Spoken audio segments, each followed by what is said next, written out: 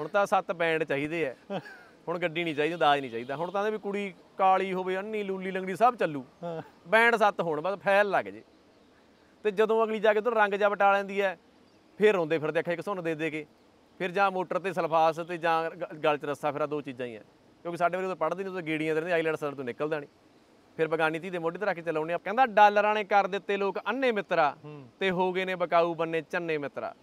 ਡਾਲਰਾਂ ਨੇ ਕਰ ਦਿੱਤੇ ਲੋਕ ਅੰਨੇ ਮਿੱਤਰਾ ਹੋ। ਗਏ ਨੇ ਬਕਾਊ ਬੰਨੇ ਚੰਨੇ ਮਿੱਤਰਾ। ਰੀਜਾਂ ਨਾਲ ਜਿਹੜੀ ਕਦੇ ਲਿਆਂਦੀ ਸੀ ਵਿਆਹ ਕੇ ਚਿੱਟੇ ਦਿਨ ਮਿੱਤਰਾ ਓਏ ਉਹੀ ਲੁੱਟ ਗਈ। 25 ਲੱਖ ਲਾ ਕੇ ਜਿਹੜੀ ਤੋਰੀ ਸੀ ਕੈਨੇਡਾ 에ਅਰਪੋਰਟ ਉੱਤੇ ਲਾ ਕੇ ਚੂੜਾ ਸੁੱਟ ਗਈ। 25 ਲੱਖ ਲਾ ਕੇ ਜਿਹੜੀ ਤੋਰੀ ਸੀ ਕੈਨੇਡਾ 에ਅਰਪੋਰਟ ਉੱਤੇ ਲਾ ਕੇ ਚੂੜਾ ਸੁੱਟ ਗਈ। ਕੀ ਬਾਤ ਇਹ ਆਪਾਂ ਚੱਲ ਸਾਰਿਆਂ ਨੂੰ ਨਹੀਂ ਕਹਿੰਦੇ ਹਾਂ। ਪਰ ਕੁਝ ਕੁੜੀਆਂ ਨੇ ਵੀ ਫਰਾਡ ਕੀਤਾ ਵੀ ਹੈ। ਬਹੁਤੀਆਂ ਹੈਗੀਆਂ ਵੀ। ਹੂੰ। ਜਿਹੜੇ ਚੂੜਾ ਲਾ ਕੇ ਸੁੱਟਦੀਆਂ ਬਹੁਤ ਬਹੁਤ ਹਰ ਇੱਕ ਦੀ ਗੱਲ ਨਹੀਂ ਕਰਦੇ। ਬਹੁਤੀਆਂ ਫਿਰ ਉਧਰ ਜਾ ਕੇ ਬਈ ਮਤਲਬ ਬਦਲ ਵੀ ਜਾਂਦੀਆਂ ਕਿ ਇੱਥੇ ਬਾਲੇ ਭੀੜੇ ਮਾਹੌਲ ਚ ਰਹੀਆਂ ਹੁੰਦੀਆਂ। ਗੱਲ ਪਤਾ ਕੀ ਜਸ ਬਾਈ? ਹੂੰ। ਮੈਂ ਇੱਕ ਗੱਲ ਸੋਚੀ ਹੈ ਵੀ ਜਿਹੜਾ ਮਾਹੌਲ ਹੈ ਨਾ ਉਹ ਬਹੁਤ ਵੱਡੀ ਚੀਜ਼ ਹੈ ਹਾਂ। ਹੁਣ ਮੰਨ ਲਾ ਮੈਂ ਹੀ ਲਾ ਲਓ ਮੇਰੇ ਵਰਗੇ ਨੇ ਜੇ ਮੰਨ ਲਾ ਇੰਨਾ ਕੁ ਵੀ ਪੈਗ ਲਾਉਣਾ ਹੋਵੇ ਨਾ ਮੋਟਰ ਤੇ। ਤੇ ਪੰਜ ਸੱਤ ਵਾਰੀ ਪਿੱਛੇ ਮੁੜ ਮੁੜ ਦੇਖਦਾ ਵੀ ਕੋਈ ਸਾਡਾ ਸੀਰੀ ਤਾਂ ਨਹੀਂ ਆਉਂਦਾ ਕੋਈ ਮੇਰਾ ਚਾਚਾ ਤਾਇਆ ਤਾਂ ਨਹੀਂ ਆਉਂਦਾ। ਵੀ ਆਪਾਂ ਨੂੰ ਡਰ ਹੁੰਦਾ ਵੀ ਜੇ ਸੀਰੀ ਨਹੀਂ ਦੇਖ ਲਿਆ ਤਾਂ ਬਾਪੂ ਕੋਲੇ ਗੱਲ ਕਰ ਦੂ। ਚਾਚਾ ਤਾਇਆ ਤਾਂ ਉਹ ਗਾਲਾਂ ਕੱਢ ਵੀ ਕਿਹੜੇ ਕੰਮੀ ਪਏ ਹਨਾ?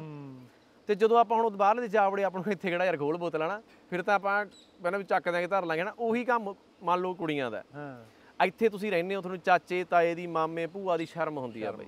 ਹਨਾ? ਕਿਉਂਕਿ ਆਪਾਂ ਨੂੰ ਐਵੇਂ ਰਿਸ਼ਤੇਦਾਰ ਕਹਿਣਗੇ ਪਿੰਡ ਦੇ ਕੀ ਕਹਿਣਗੇ। ਹੁੰਦੀ ਆ ਨਾ ਬਈ। ਬਿਲਕੁਲ। ਜਦੋਂ ਤੁਸੀਂ ਬਾਹਰ ਜਾ ਵੜੇ ਤੁਹਾਡਾ ਸਾਰਾ ਡਰ ਚੱਕਿਆ ਜਾਂਦਾ। ਤੁਹਾਨੂੰ ਐ ਵੀ ਦੁਨੀਆ ਤੁਹਾਨੂੰ ਮੁੱਠੀ 'ਚ ਅੱਛਾ ਇੱਕ ਚੀਜ਼ ਹੋਰ ਆ ਬਾਈ ਹੁਣ ਮਤਲਬ ਆਪਦੇ ਆਪ ਨੂੰ ਐ ਲੱਗਦਾ ਯਾਰ ਬਦਲਦਾ ਬਾਹਲਾ ਕੁਝ ਆਪਾਂ ਬਦਲ ਆਪਣੀ ਖਾਸ ਖਾਸ ਕਰ ਪੀੜ੍ਹੀ ਬਾਹਲਾ ਕੁਝ ਨਹੀਂ ਬਦਲਦਾ। ਦੇਖ ਲੈ ਵੀ ਪਿੰਡਾਂ ਦੇ ਸਾਡੇ ਪਿੰਡਾਂ ਦੇ ਮਾਹੌਲ ਜਾਂ ਹੋਰ ਚੀਜ਼ਾਂ ਸਾਡੇ ਪਿੰਡਾਂ ਦੇ ਛੱਪੜ ਵੀ ਖਾਲੀ ਹੋਏ। ਅੱਗੇ ਮਤਲਬ ਛੱਪੜਾਂ ਦੇ ਵਿੱਚ ਆਪਣੇ ਵੇਲੇ ਲੋਕ ਨਾ ਐ ਵੀ ਕਰਦੇ ਸੀ। ਛੱਪੜਾਂ ਦੇ ਵਿੱਚ ਹੀ ਵੜ ਜਾਂਦੇ। ਬਾਹਲਾ ਕੁਝ ਨਹੀਂ ਬਦਲਦਾ ਦੇਖ ਲੈ ਵੀ ਯਾਰ ਇੰਨਾ ਚੇਂਜ ਤਾਂ ਨਹੀਂ ਮਤਲਬ ਸੋਚੇ ਨਹੀਂ ਹੋਣਾ। ਬਈ ਮੰਨ ਲਓ ਲੋਕ ਕਹਿੰਦੇ ਦੁਨੀਆ ਐਡਵਾਂਸ ਹੋ ਗਈ। ਪਰ ਮੈਨੂੰ ਕਿਤੇ ਨਾ ਕਿਤੇ ਐ ਲੱਗਦਾ ਮੈਂ ਕਿਹਾ ਯਾਰ ਇਹ ਐਡਵਾਂਸ ਨਹੀਂ ਹੋਈ। ਇਹ ਤਾਂ ਗਲਤ ਰਸਤੇ ਪੈ ਗਿਆ ਕੰਮ।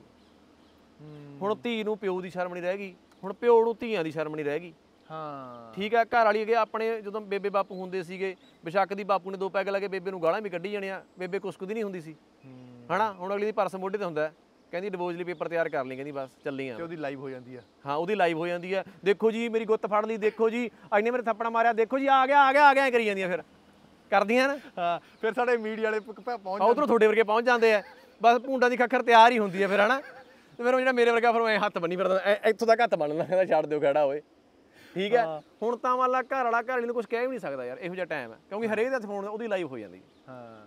ਜਿਹੜੀ ਮੈਂ ਗੱਲ ਕਰਦਾ ਸੀਗਾ ਹੁਣ ਚਲੋ ਸਾਰੇ ਪਿਓ ਤਾਂ ਨਹੀਂ ਇਹੋ ਜਿਹੇ ਹੁੰਦੇ ਪਰ ਮੈਂ ਕਈ ਬੰਦੇ ਇਹੋ ਜਿਹੇ ਦੇਖੇ ਵੀ ਘਰੇ ਆਪਦੇ ਦੋ ਦੋ ਧੀਆਂ ਹਨਾ ਤੇ ਬਾਹਰ ਤੁਹਾਨੂੰ ਪਤਾ ਹੀ ਕੰਜਰਖਾਨਾ ਕਰਦੇ ਹੁੰਦੇ ਹਨਾ। ਖੇ ਖਾਂਦੇ ਫਿਰਦੇ ਖੇ ਖਾਂਦੇ ਫਿਰਦੇ